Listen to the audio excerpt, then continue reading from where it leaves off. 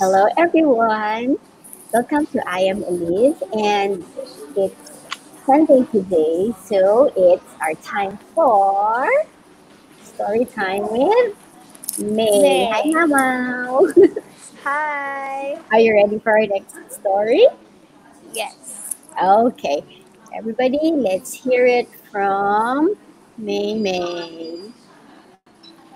Hi, boys and girls. Our story for today is from Genesis chapter 2 to 3, titled No Longer Perfect. In one special place, God laid out a garden for Adam and Eve to live in. It was full of lovely, lush plants and fantastic flowers. Sparkling streams bubbled up from the ground, and every tree was covered with delicious fruit for Adam and Eve to eat. So many different types of animals lived in the garden that it took Adam many hours to give each one a name gecko, gibbon, giraffe, gorilla, hare, hippo, horse, hyena. Adam and Eve lived happily in the Garden of Eden, caring for it and the creatures that lived there. They had everything they needed. In the center of the garden grew a special tree. It was called the Tree of Knowledge. God made it very clear that this tree was different to all the other trees. You must not eat the fruit of this tree, God warned Adam and Eve. You can eat fruit from all the others, but if you eat fruit from this one, bad things will happen. And for a time, Adam and Eve did as they were told. But there was a cunning snake living in the Garden of Eden who wanted to play a trick on Eve.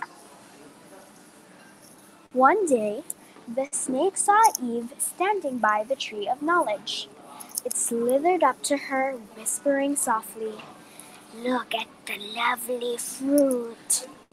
I mustn't touch it, said Eve. Smell how sweet it is, the snake hissed.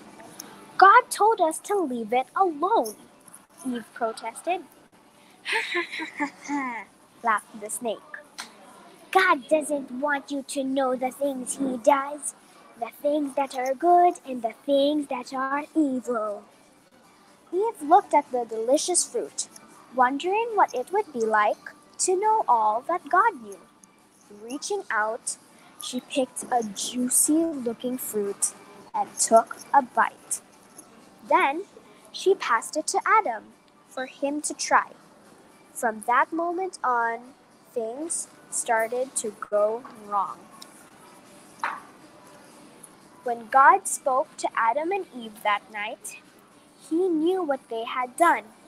He was angry and told them to leave the garden at once. As Adam and Eve left, God sent an angel to stop them from returning. When they had lived in the Garden of Eden, Adam and Eve had everything they needed, and they would have never grown old there. Now, all that had changed. They had to work hard and knew that one day they would die. God's world was no longer perfect. So that's it for today, boys and girls.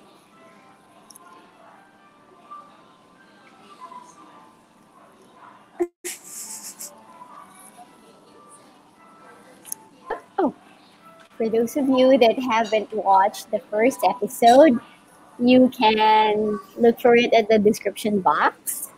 And we will see you next week for the third episode of Story Time with Mei. Mei. Thank you for watching. Bye.